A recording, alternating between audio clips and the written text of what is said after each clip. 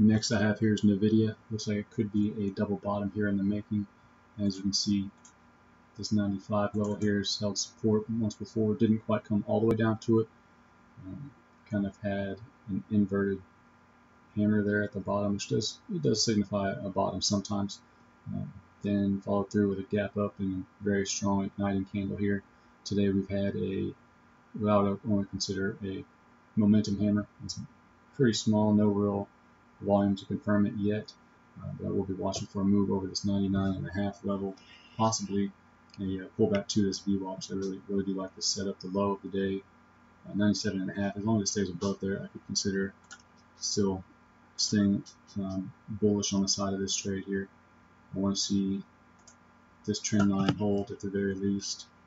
So as price moves, or as price opens, if it opens up at least above this trend line, it'll pull the VWAP up and pull up some buyers with it.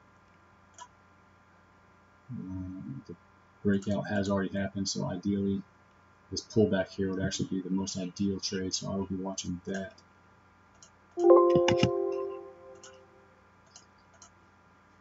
Too far.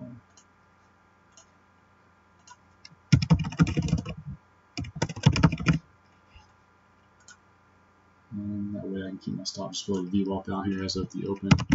Keep it as close as possible. Uh, target, if it does trigger in, it's really close to 100, so uh, I'll be watching as it gets to 100 if it does trigger and start going up and see what kind of price action there is right here. So 100 is going to be a huge round psychological number. We'll see what happens. It could gap right through it and, and come back and do a retest sometime.